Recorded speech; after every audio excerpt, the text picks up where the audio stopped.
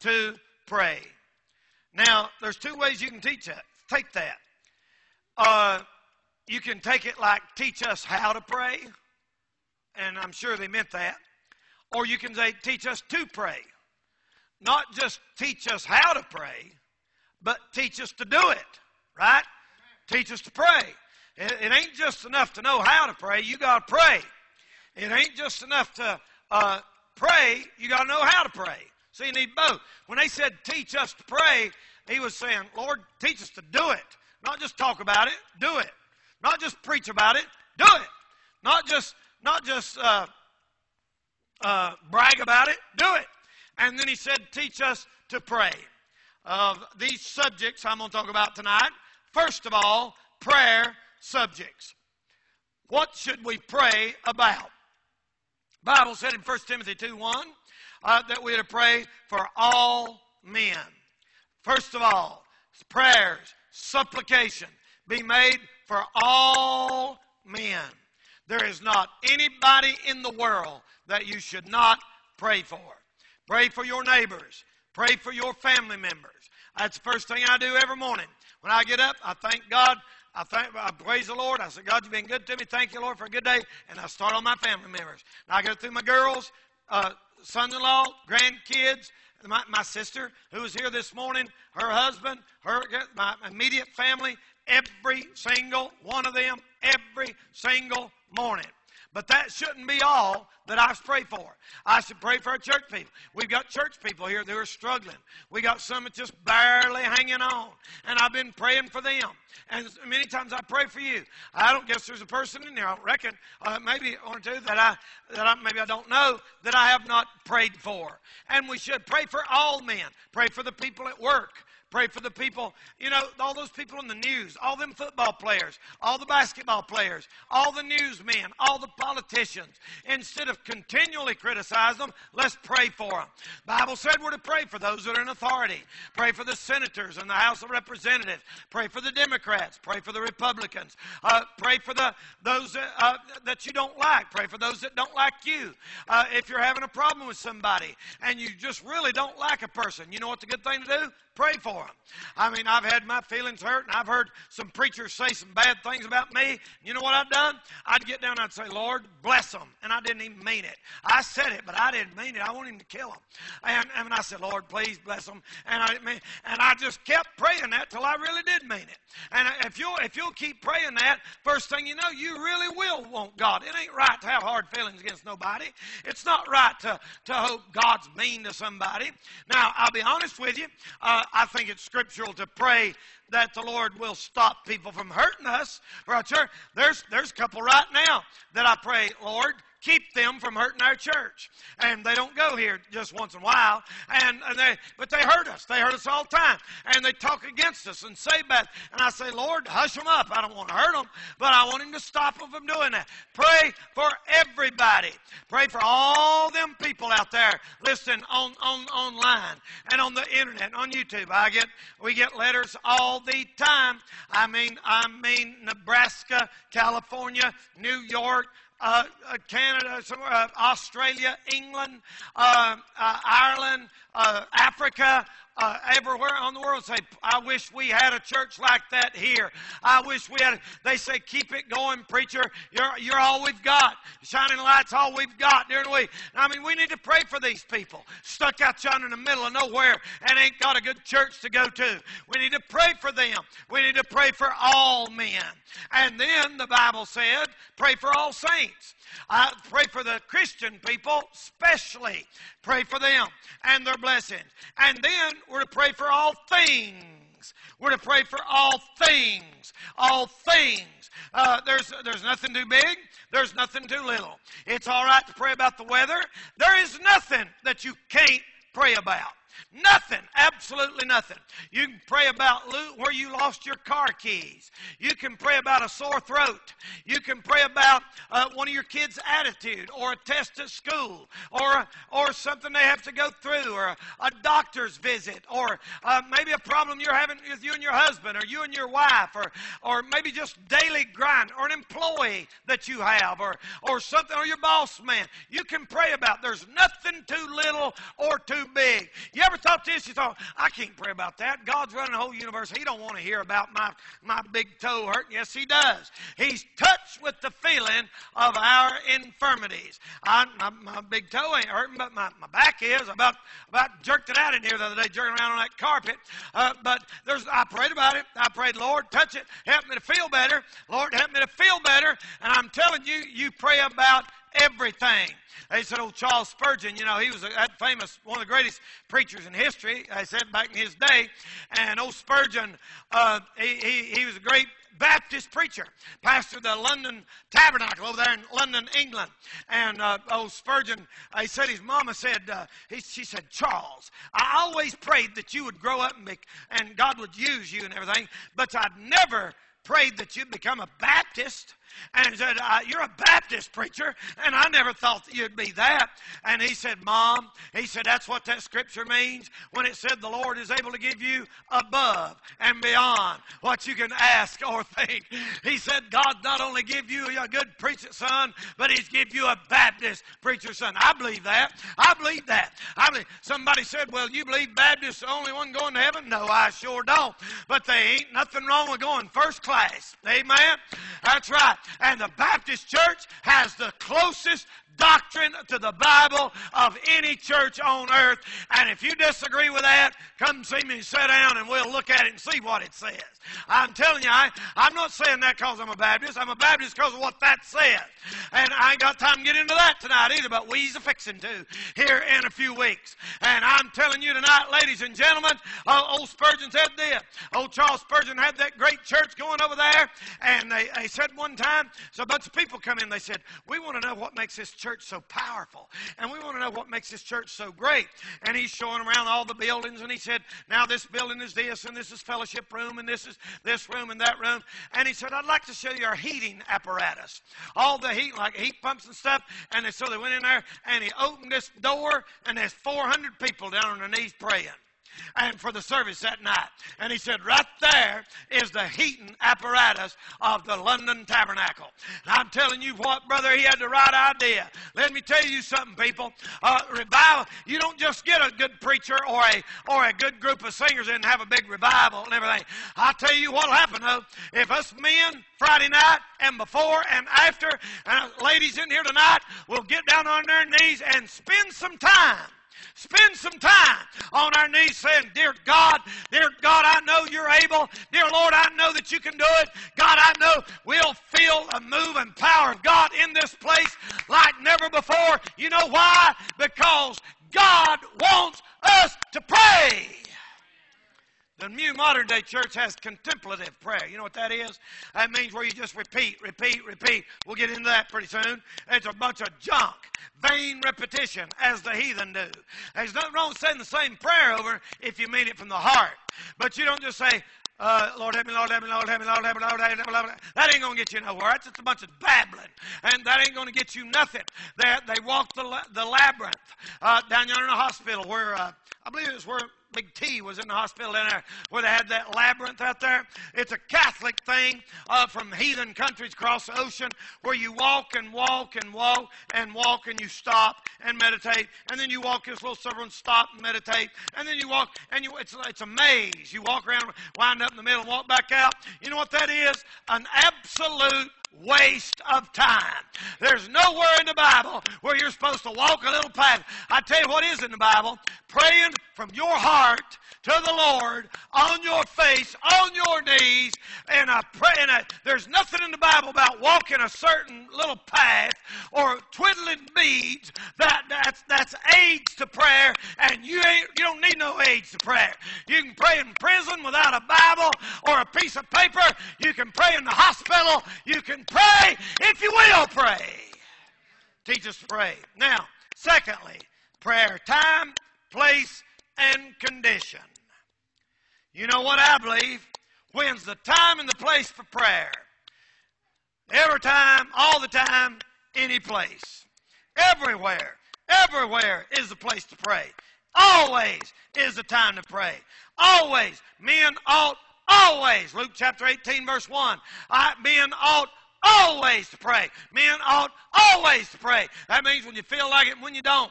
I know a lot of times we, we, we get all fired up and we say, hey, boys, let's gather around and pray. And I love it when it's like that.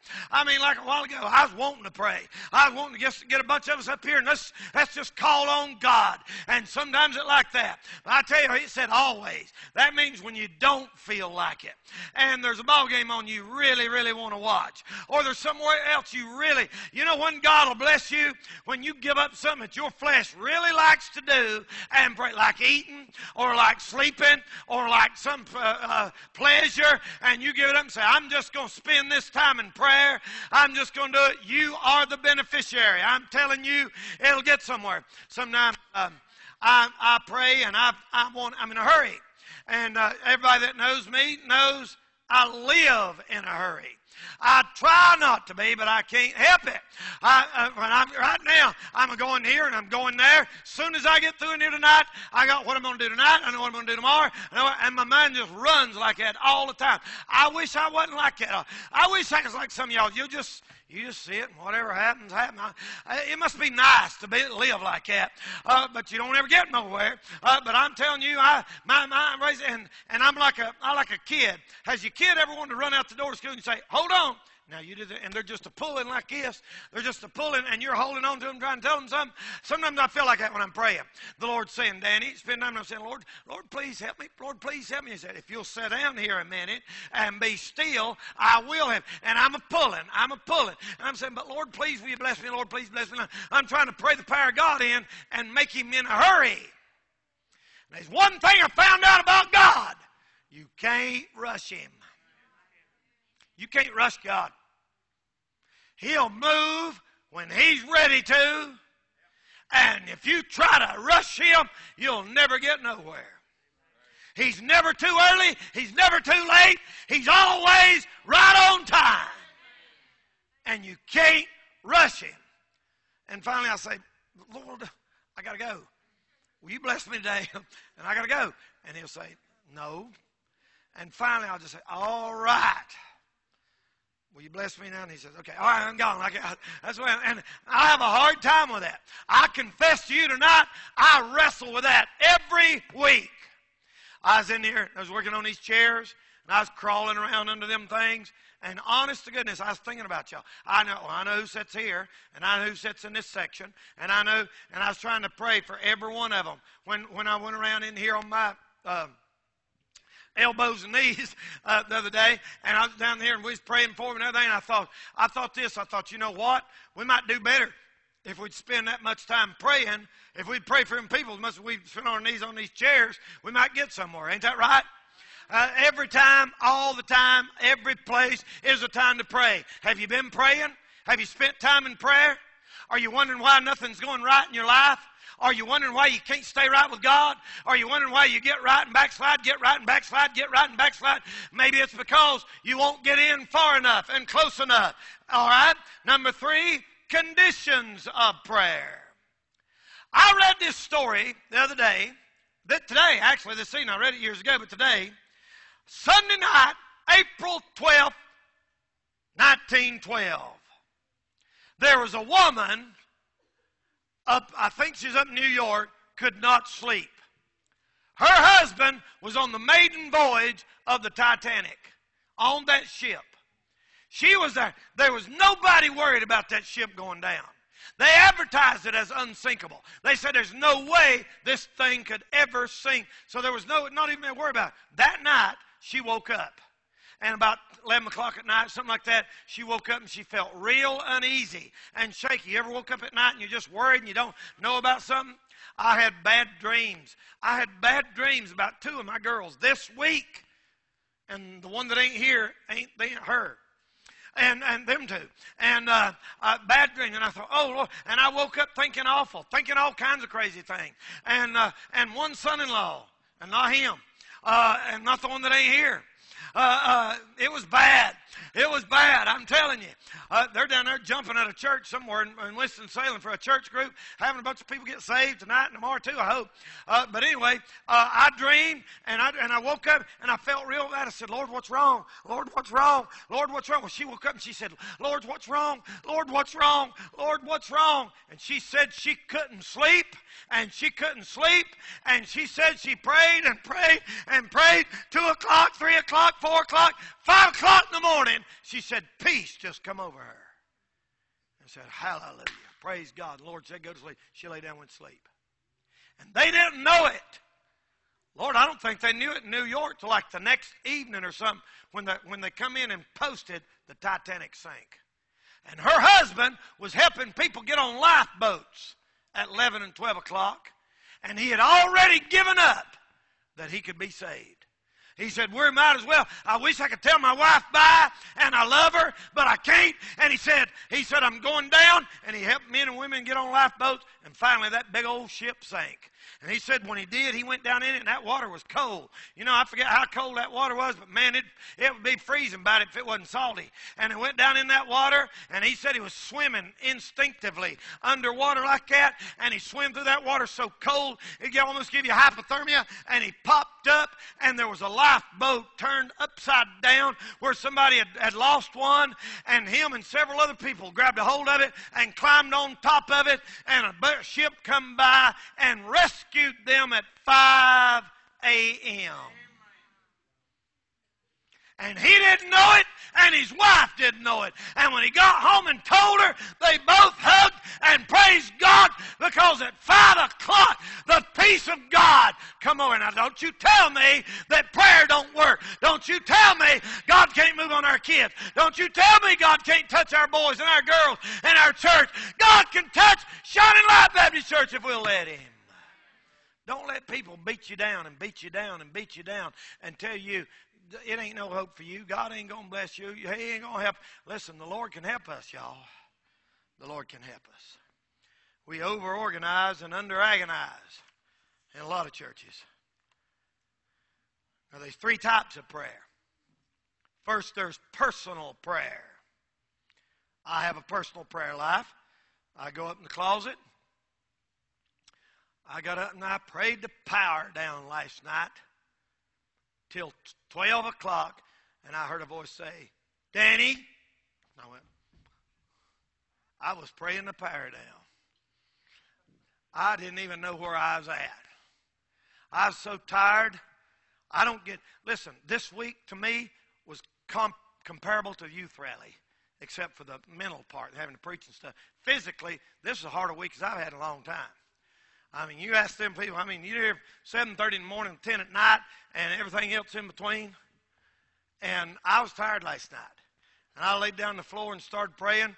And next thing I heard was her saying, Danny, going to bed? I said, yes, hallelujah. Don't interrupt me when I'm praying. No, I didn't. Man, I didn't even know what day it was. But you know what I think? I think the Lord looks down when you like that sometimes. And he says, You know, I know you must, I know you sleep in. I tell you what I'm going to do. I'm just going to count that time you was asleep as prayer time. I believe he does. I believe he does. Because in my heart, I was begging him. I said, Lord, we're going to have the prettiest church in town and the sorriest preaching.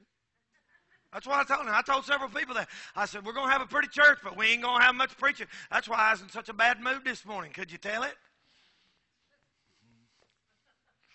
So, oh, I thought you wasn't in the Spirit. Hallelujah. We don't have to do what you said. And what I said was right. But you know something? God looks at that. And He looks at your heart's intent.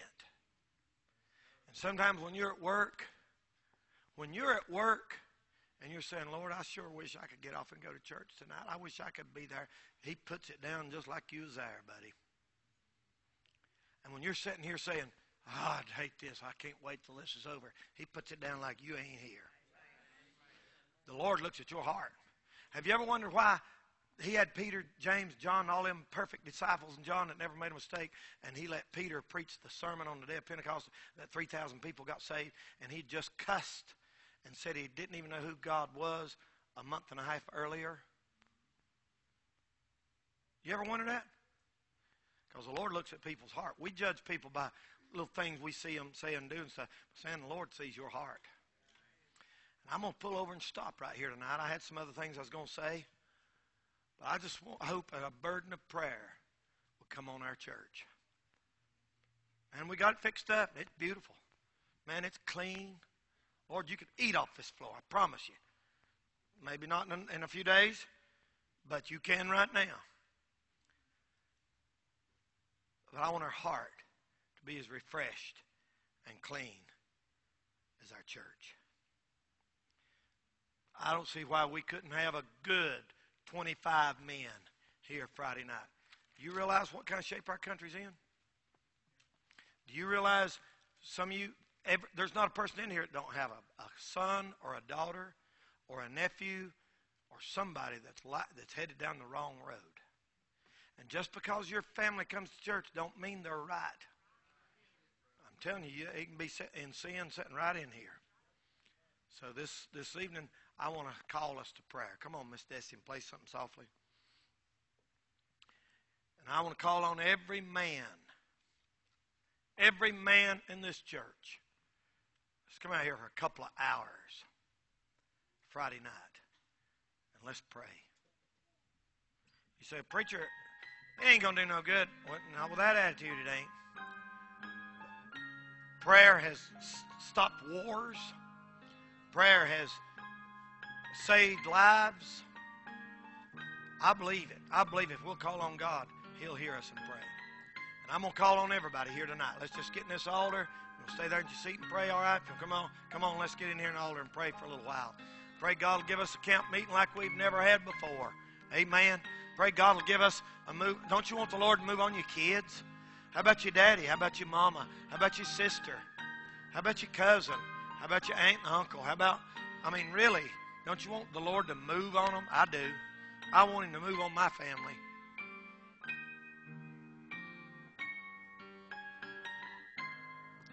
Let's ask the Lord. Let's ask the Lord to help us. If you need to come, come on. Father, we thank you so much for all that you've done for us. Father, we come before you this evening confessing all of our sin, everything we've said or done wrong. God, we pray that you'll forgive us. Lord, I thank you for our church. I thank you, Lord, for what it's meant to thousands and thousands of people, even the people that were here this morning needing help and looking for help. I pray that you bless every single one. Lord, I pray for that person here tonight who's struggling who's struggling with, with the devil, with sin, and with your will for their life. I pray you'd help them. I pray for every man and woman and husband and wife here tonight. Dear Lord, I pray that you'd touch them, God, and give them that peace they need to serve you. I pray for every teenager here tonight that you'd bless them, help them to make the right choices, God, and to say no to the devil. I pray for all of our little kids here tonight, even these little babies, right on down to these little tiny ones. I pray that your hand will be upon every single one of them. Lord, I pray that you'd bless us as we get ready for our big day here in a couple of weeks. I pray you'd bless us we get ready for camp meeting.